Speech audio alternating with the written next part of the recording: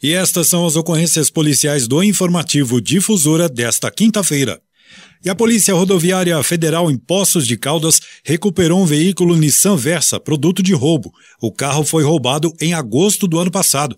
A abordagem aconteceu na BR 146, quando agentes da Polícia Rodoviária Federal pararam o carro com placas do padrão Mercosul.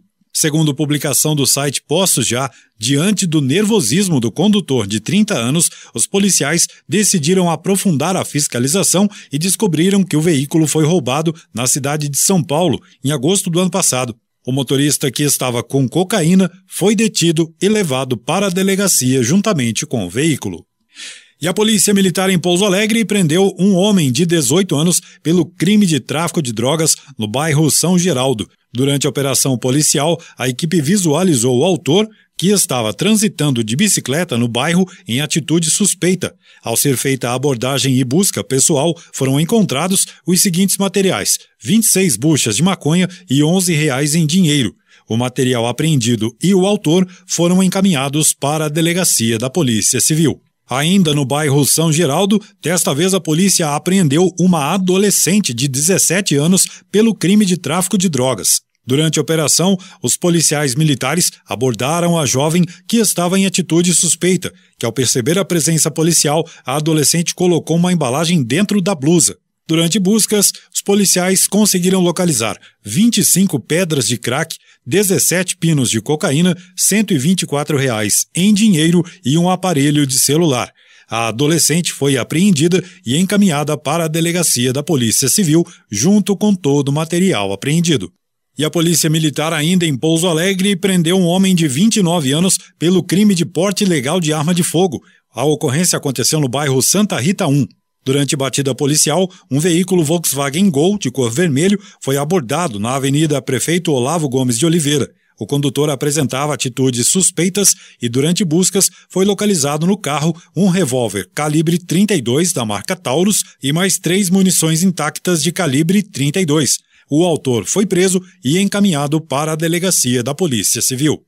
E a Polícia Militar, durante cumprimento de mandado de busca e apreensão expedido pelo Tribunal de Justiça local, as equipes Patrulha de Operações de Ouro Fino e Rádio Patrulha de Inconfidentes obtiveram êxito em localizar, enterrado no quintal de uma chácara dos autores ALM, 35 anos, trabalhador rural, e sua companheira de 31 anos do lar, aproximadamente 4,5 kg de maconha e mais 1 kg de cocaína, além de material para dolagem e a quantia de R$ 1.709 em dinheiro. Os autores foram presos pelo crime de tráfico ilícito de drogas e associação para o tráfico, junto com o material arrecadado, e eles foram apresentados à delegacia da Polícia Civil aqui na cidade de Ouro Fino. Participaram desta ocorrência o segundo sargento Rosinandro, segundo sargento Xavier, cabo Ferreira e soldado Jefferson. E da cidade de Inconfidentes participaram terceiro sargento Soares, cabo Bertoldo, soldado Pedro, soldado Wilson Martins e soldado Wilker, que dá mais detalhes da ocorrência. A 81ª Companhia de Polícia Militar em Ouro Fino apreendeu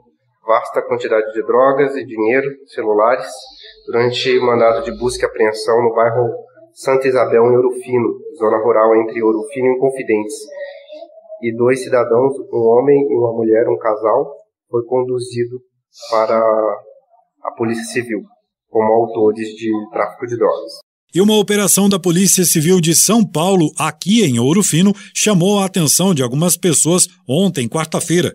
Tratava-se de uma investigação sobre roubo de tratores na cidade de Paraibuna, no estado de São Paulo, como explica o delegado Vitor Falcão. No mês de fevereiro, no final do mês de fevereiro, houve um roubo de tratores na cidade de Paraibuna, onde nós atuamos, e desde esse roubo nós começamos as investigações. E eh, de acordo com as investigações, apuramos que um caminhão tinha sido usado para levar esses tratores embora. E esse caminhão estaria em nome de uma empresa aqui da cidade de Ouro Fino.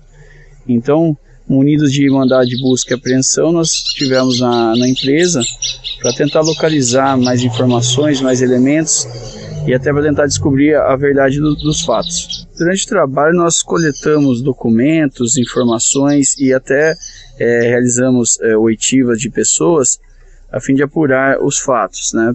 Pelo que até então apurado, a empresa já havia vendido esse caminhão utilizado no crime. Então agora vamos prosseguir as investigações para tentar chegar na autoria do roubo na cidade de Paraibuna.